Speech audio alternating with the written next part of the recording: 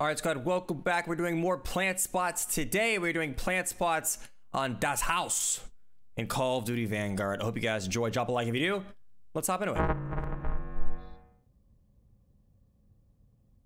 All right, we are at the alpha site and we can literally see the B site. This map is tiny, like really tiny. That's the enemy spawn, that's offense spawn, okay? This map is super small. You're not going to see very much planting going on, and the plant spots are not very good. But I'm going to do my best here.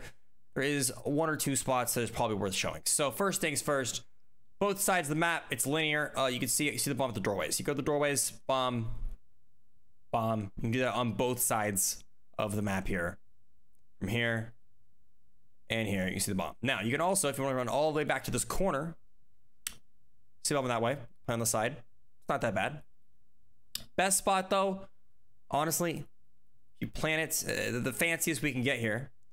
If you want to plant it, plant on the far right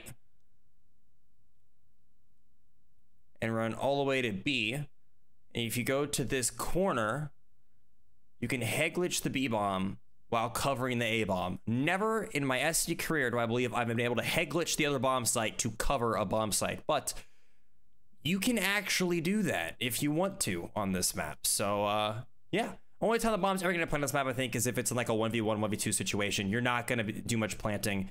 There's just, this map's super tiny. This is like shipment level, like just a little bigger than shipment, to be honest with you. But uh, yeah, let's go to B. All right, B is very similar to A, although there is one spot on B, which honestly might make it the best site on this map. There actually is a decent spot. So First off, you can kind of sit in the stair area and just kind of, you know, cover the bomb site. Various corners of the map, just cover it. I mean, your basic stuff here, right? This is this is stuff we all know. Basic place to cover them. Now, if you want to get fancy a little bit though, open that door, have it facing this way. Door needs to be facing like that. And you plant the bomb right there. Run to the spawn. Hug this doorway. Boom, bomb right there. See the bomb right here. Cover it completely. You can do it with or without a sniper. Isn't that much? This isn't a bad bad to do with the sniper uh, or SMG. Best spot on the map, hands down for sure. It's got to be the best spot plant spot for this map. Um, but yeah, they're not gonna be much planning on this map with how small it is. I guarantee you that. It'll be like 1v1, 1v2 clutches where you see the bomb go down. Besides that, it ain't gonna go down. Anyways, though, got you guys more plant spots soon. Hope you enjoyed this video. Leave a like if it helped. Subscribe if you're new, and I will see you all in the next one. Seek and Destroy is Paziger.